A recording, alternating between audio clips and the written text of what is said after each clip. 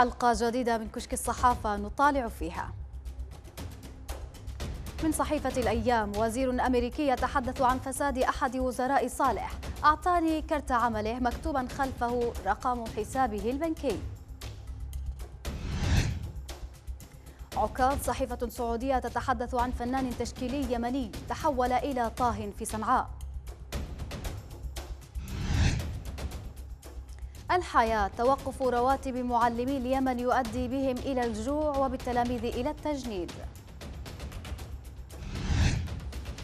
ومن القدس كوريا الشمالية تمنع ثلاث نساء من دخولها بعد إجراء عمليات تجميل.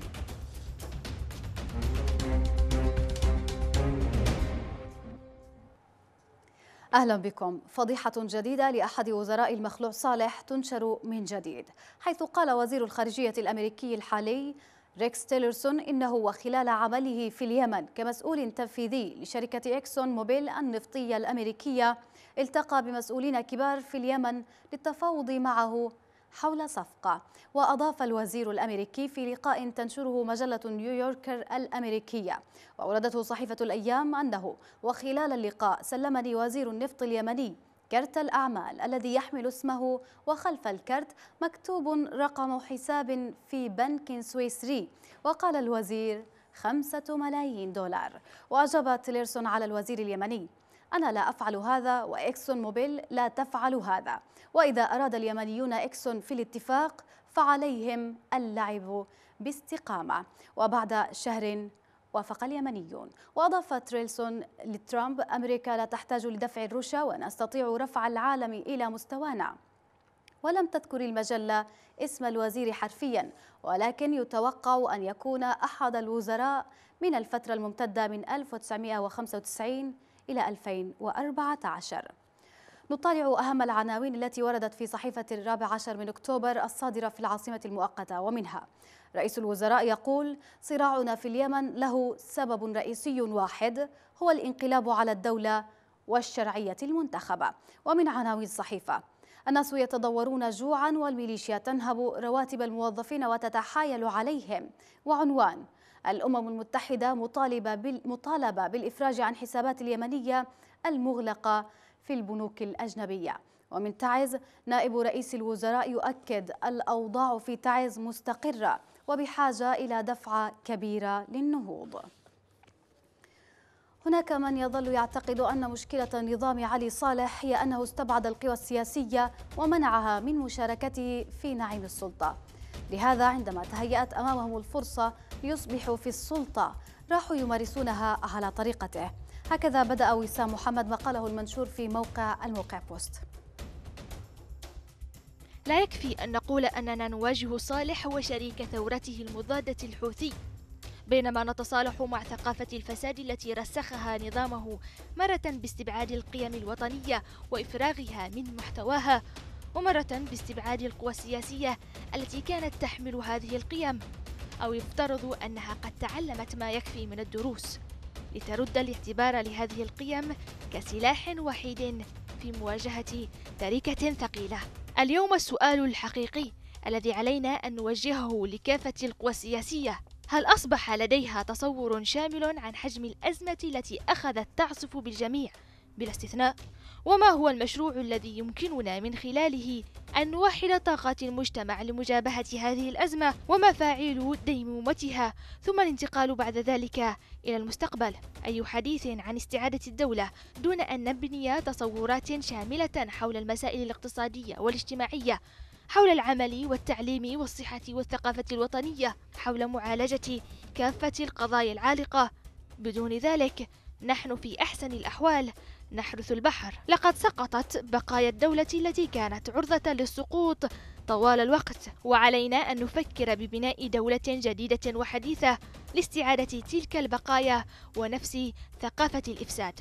دولة لجميع اليمنيين قائمة على المواطنة المتساوية والعدالة الاجتماعية وليس دولة الحزب أو الأسرة أو القبيلة.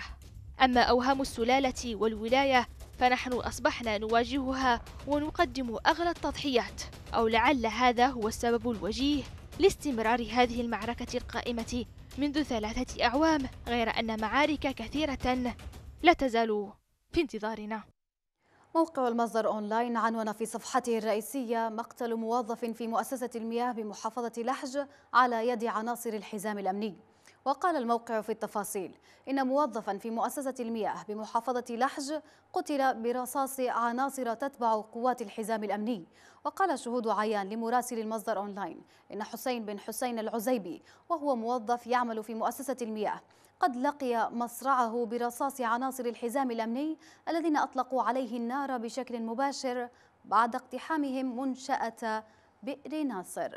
مصدر في المؤسسة قال إن مقتل الموظف العزيبي يأتي ضمن حالة التوتر التي تشهدها المؤسسة منذ أسابيع على خلفية قيام الموظفين بتنفيذ احتجاجات للمطالبة بمستحقات مالية.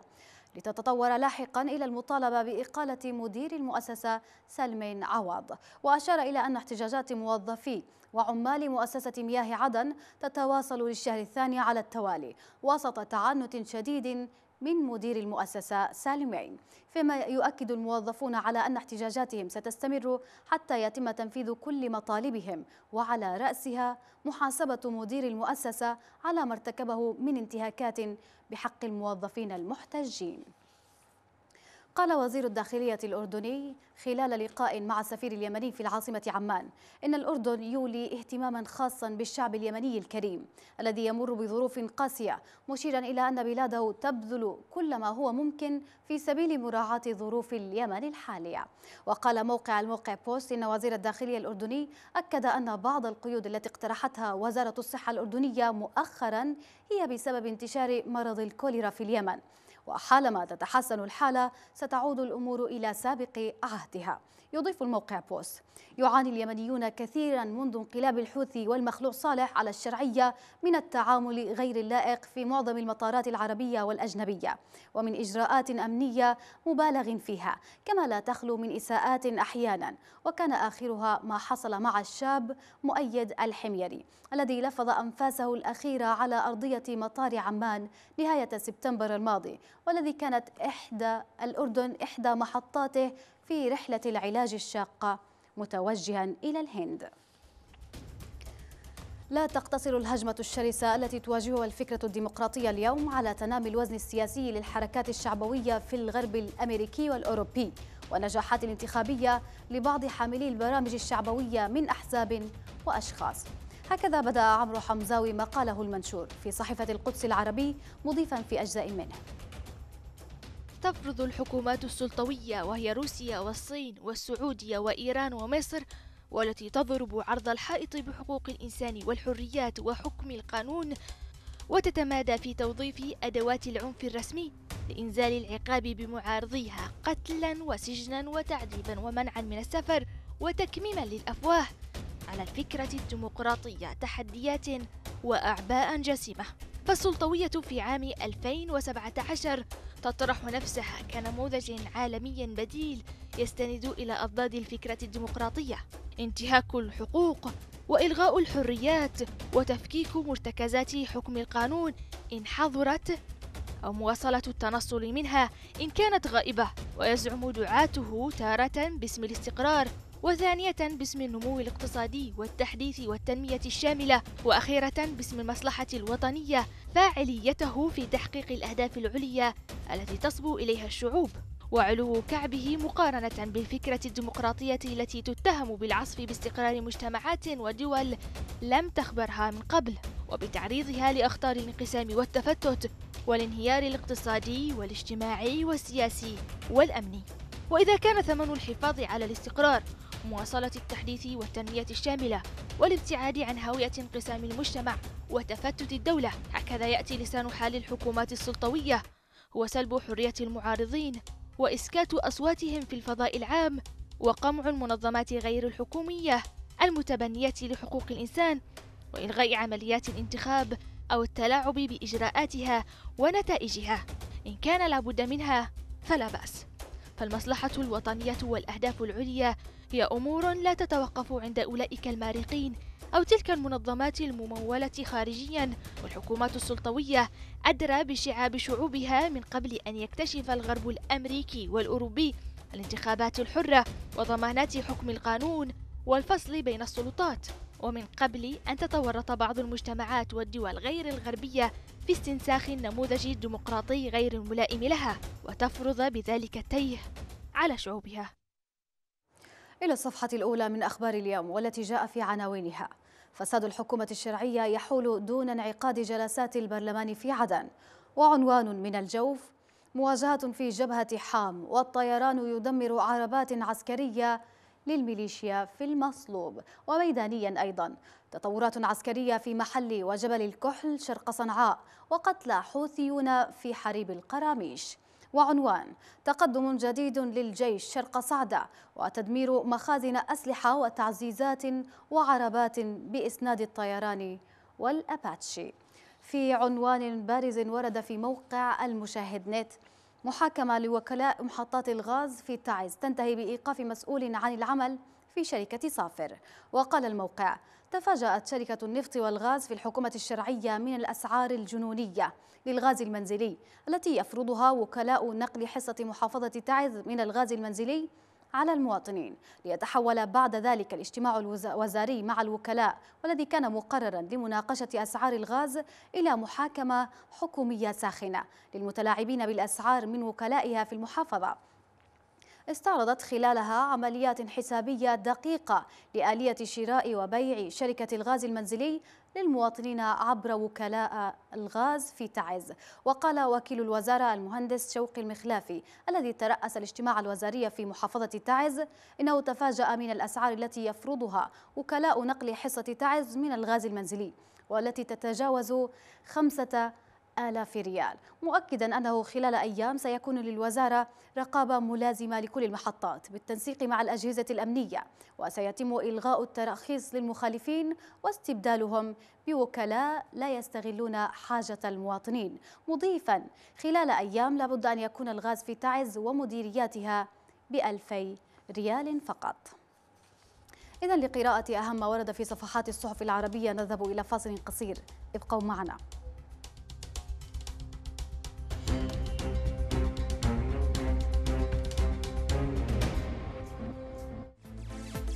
حين تتجه بناظريك إلى ما هو حولك. تكتشف جمال كل شيء. تتعرف من خلال ما شاهدت قانونا واحدا من القوانين المعرفية. تعرف كيف امتزجت هذه الحياة بألوان البشر المختلفة. ستعلم عندها أن الأقرب منك أن وضعنا العالم بين يديك.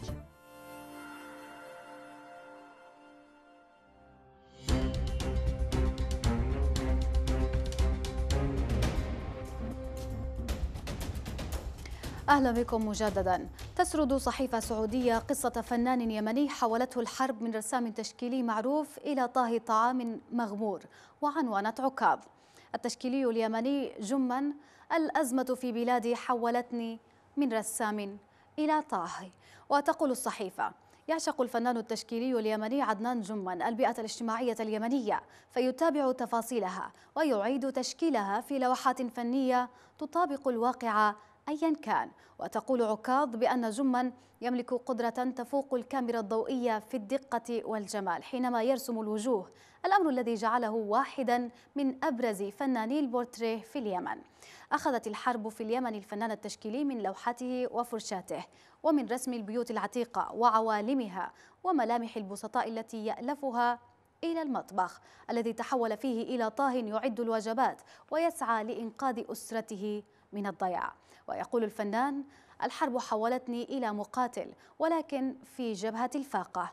اليوم أنا الأب الذي يحمي أسرته. لست الفنان التشكيلي الذي كنت قبل الحرب. توقف رواتب معلمي اليمن يؤدي بهم إلى الجوع وبالتلاميذ إلى التجنيد عنوان بارز لتقرير كتبه علي سالم لصحيفة الحياة اللندنية.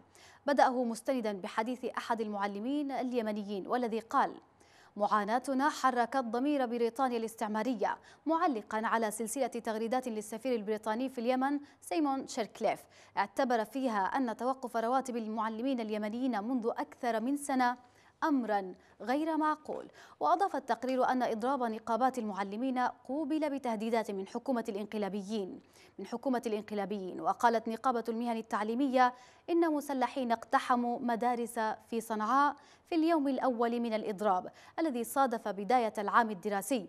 فيما أفاد معلمون بأن السلطات التربوية في صنعاء هددت المعلمين المضربين بفصلهم. من العمل وتطالب نقابة المهن التعليمية في صنعاء بصرف رواتب المعلمين في المناطق الشمالية. بينما هدف إضراب عدن الذي دعت إليه نقابة المعلمين والتربويين الجنوبيين هو رفع رواتب المعلمين أسوة برواتب منتسبي المؤسسة العسكرية. ويرى باحثون أن تخلف التعليم وانتشار الأمية والفقر والفساد يشكل أحد أسباب فشل تجربة التحول الديمقراطي في البلد الأفقر. والأقل استقرارا. مواضيع الأكثرية العربية المقصية. تحت هذا العنوان كتب أحمد جابر مقاله المنشور في جريدة الحياة اللندنية مضيفا. لا تقرأ التطورات التي تحفل بها المنطقة العربية اليوم معزولة عن سياقها. كذلك لا تخضع الأحداث المهمة المتتالية إلى عملية اصطفاء أو إلى عرض استنساب الأصح أن ما يضغط على اليوميات العربية يمارس فعله من ضمن سياق عام ومن ضمن سردية متصلة يحتشد فيها الخاص العربي الداخلي والعام الدولي والإقليمي الخارجي. لذلك فإن القراءة محكومة بمنهج يعين القضايا كقضايا أولا فلا يلغيها ويدرج هذه القضايا المنفصلة بداية كمسائل مستقلة لتسهل معاينتها في استقلالها عن غيرها. ومن التعيين المنهجي الفردي تكون المباشرة الأجدى لإعادة رؤية الروابط التي تشد كل قضية فردية إلى السياق. هذا الذي يتكون من مجموع المسائل المطروحة على كل نسق وطني عام. يغلب على السياق العام الحدث السوري الذي يبدو أنه يشرف على خاتمته. تحمل كلمة الخاتمة في طياتها معنى الخواتيم المتعددة تعدد المتدخلين في الموضوع السوري. وبهذا المعنى فإن لكل لاعب فوق الأرض السورية خاتمته التي يكافح من أجل أن تكون عظيمة الجنى وافرة الغلال. تحمل كلمة الخاتمة في طياتها معنى الخواتيم المتعددة تعدد المتدخلين في الموضوع السوري وبهذا المعنى فإن لكل لاعب فوق الأرض السورية خاتمته التي يكافح من أجل أن تكون عظيمة الجنى وافرة الغلال. في العراق موضوع آخر قائم بذاته فالبنية العراقية بملامحها الظاهرة صارت منشطرة مذهبيا على نحو أوضح والتمكن الإقليمي من مفاصل السياسة العراقية لا تخطئه بصيرة وعلى وجوه شتى. في العراق موضوع آخر قائم بذاته فالبنية العراقية بملامحها الظاهرة صارت منشطرة مذهبيا على نحو أوضح والتمكن الإقليمي من مفاصل السياسة العراقية لا تخطئه بصيرة وعلى وجوه شتى. صار العراق جزءا من السياق الإقليمي. بعد أن كانت أحداثه منذ عام 2003 مفتاح باب النيران التي امتدت ألسنتها إلى سائر البلاد العربية. أصدرت محكمة بريطانية حكما يقضي بمعاقبة رجل يدعى زاهد حسين بحسب موقع شبكة البي بي سي بالسجن مدى الحياة. خطط لتفجير خط سكك حديدية باستخدام لمبات صغيرة ووعاء ضغط لأغراض الطبخ. وكان حسين 29 عاما من مدينة برمنغهام قد صنع جهازا بلغ وزنه 1.6 كيلوغرام ومحفزات اشتعال بدائية الصنع من أضواء زينة الأعياد. وأدانت المحكمة حسين بتهمة الإعداد لتنفيذ عمل إرهابي وأصدرت المحكمة حكمها بسجنه مدى الحياة. حسين وقبل أيام من إلقاء القبض عليه في أغسطس 2015 قد تردد أكثر من مرة على جزء من خط سكة حديد ويست كوست مين وهو أحد أهم خطوط السكك الحديدية في بريطانيا. وقالت النيابة إن ذلك كان بهدف بحث تنفيذ هجوم محتمل. وعثرت أجهزة الأمن بحوزته بعد اعتقاله على كتب تتناول حرب العصابات من بينها كتاب يتناول الإعداد لشن هجمات تستهدف السكك الحديدية. عمليات تجميل يمكن أن تمنع ثلاث فتيات من العودة إلى بلادهن ففي حادثة غير مألوفة كما تقول القدس العربي. منعت إدارة مطار كوريا الشمالية ثلاث فتيات من العودة إلى بلادهن بعد قيامهن بعمليات تجميل في سيول أظهرتهن في أشكال غير متشابهة مع صورهن الموقعة على جوازات سفرهن. ووفق صحيفة ديلي ميل فإن السيدات الثلاث منعن وعلقن في المطار لأسباب أوضحتها إدارة المطار أنها متعلقة بوجوههن التي لا يمكن مطابقتها حيث ظهرن بوجوه ملفوفة ومنتفخة ولا يمكن تأكيد أنهن النساء أنفسهن. في الصور. إدارة المطار قالت إنه لا يعقل أن نتعرف إلى هوياتهن من خلال الصور نفسها الموجودة في الجوازات وتركهن يسافرن من دون تأكيد الهوية. جاء من العام 2048 ليحذر العالم. عنوان لصحيفة البيان والتي قالت في التفاصيل إن الشرطة الأمريكية ألقت القبض على شاب أمريكي خلال محاولته رؤية عمدة نيويورك وهو في حالة هلع. مشيرا إلى أنه جاء من العام 2048 وأن الفضائيين سيغزون العالم وعلى الجميع مغادرة الأرض. تتابع الصحيفة الشاب الأمريكي واسمه برانيب جونسون كان في حالة سكر وادعى أن الفضائيين هم من جعلوه ثملا وأرسلوه إلى الماضي. جونسون وبحسب صحيفة سي إن إن التركية قال إنه جاء بالخطأ إلى عام 2017 لقد أرسل إلى العام 2018 بالفعل وبرر طلبه برؤية العمدة ليشرح له كيف سيتم غزو الأرض العام المقبل مدعيا بأنه جاء من ولاية وايومينغ اسم ولاية من ولايات أمريكا في المستقبل. ولم يصدر بعد أي تفاصيل عن مصير الشاب الأمريكي وحالته الذهنية أو النفسية التي دفعته لمثل تلك التصريحات. مضى على رحيله نصف قرن وما يزال يمثل أيقونة الثورات في كل مكان في العالم. تشي جيفارا من قطع الحدود والمساحات الجغرافية فقط ليحارب الظلم ليخلدها, ليخلدها التاريخ بحروف من ذهب. صحيفة العرب الجديد نشرت مجموعة من صور نادرة له. نتابع.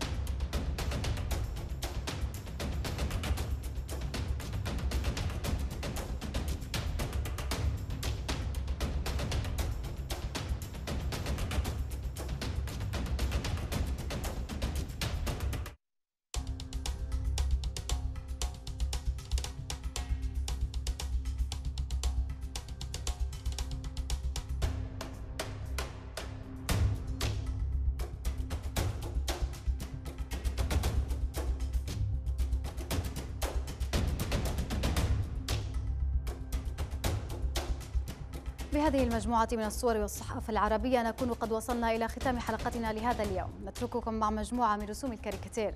إلى اللقاء.